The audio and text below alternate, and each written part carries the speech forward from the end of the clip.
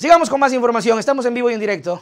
En vivo y en directo. Noticias eh, retomando y actualizando todo lo que ha ocurrido, mis queridos amigos, con lo pasado en el derrame de petróleo que termina siendo una afectación también para, nuestro país petrolero, que incluso eh, sobrevivimos y nos anclamos a eso. Cerca de 6.300 barriles de crudo derramados están en piedra fina. Están en piedra fina. El ministro de Energía, Juan Carlos Bermeo, confirmó que los barriles de crudo derramados en piedra fina en la provincia amazónica de Napo ascienden a 6.300 tras la ruptura de un tramo de la OCP a causa de un desprendimiento de piedras por eh, fuertes lluvias en el Ecuador.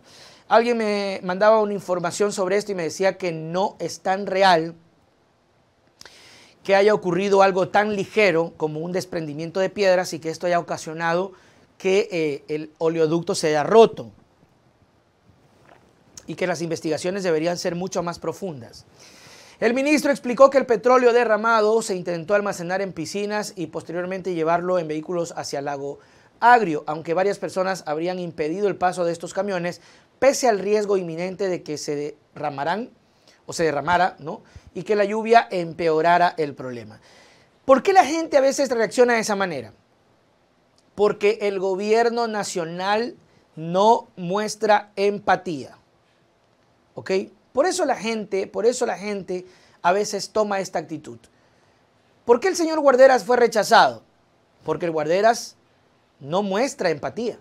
¿Por qué la gente con los funcionarios de Guillermo, cuando van a hacer este tipo de cosas, se pone dura?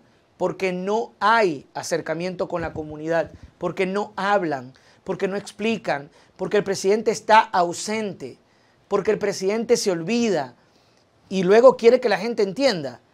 ¿Que entienda qué, presidente? ¿Que entienda qué? Cuestión es eso. Criticaban que las sabatinas eran un desperdicio. Perdóneme, no haga sabatinas, si ese es el problema. Llámele dominguinas, viernetinas, llámele como le dé la gana. Pero hable con la gente. Intégrese, presidente. Tome decisiones. Que sí, que la plata, que sirva la sabatina, que no sé qué, que no sé cuánto. No haga sabatinas. Haga otra cosa, pero haga. Lo peor es no hacer nada, que es lo que hace. Por otro lado, el martes 1 de febrero se produjo un desprendimiento de rocas y barro en un tramo cercano a la ruptura lo que ha alargado los tiempos de reparación entre 7 a 10 días, se informó por parte de la empresa privada Oleoductos de Crudo Pesados. La empresa informó hace cinco días de la ruptura de uno de sus oleoductos en la provincia de Napo, lo que provocó que cientos de litros eh, de petróleo salieran expulsados al exterior y contaminaran la vegetación del lugar. Vea, Terrible. Esto debe investigarse, pero esto lo hace un gobierno parado, un gobierno que tenga eh, al ecuatoriano, al país de frente, que vaya con la carta y la bandera adelante, sin claudicar, porque eso es lo que falta, ¿no? Debido al eh, debilitamiento del terreno en la zona de Piedra Fina, un desprendimiento de rocas a causa de las fuertes lluvias ocasionó esta ruptura, dijo la empresa privada. Eh, como estamos ahora en un gobierno en donde complacientemente se acepta todo y se paga lo que le piden, he ahí al procurador, he ahí al procurador, y, creo que de eso va el satírico del viernes, que si pasa algo lejos de defender la soberanía, lo que tenemos, porque lucran, oiga, ¿usted cree que no que usted qué cree que están a vaca?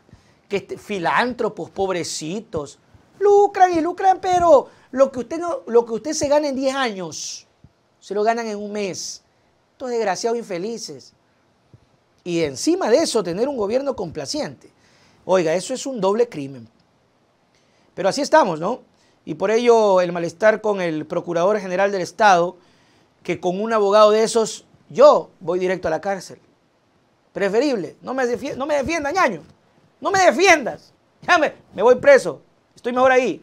Ya cara de mortadela me está acomodando ahí un colchoncito.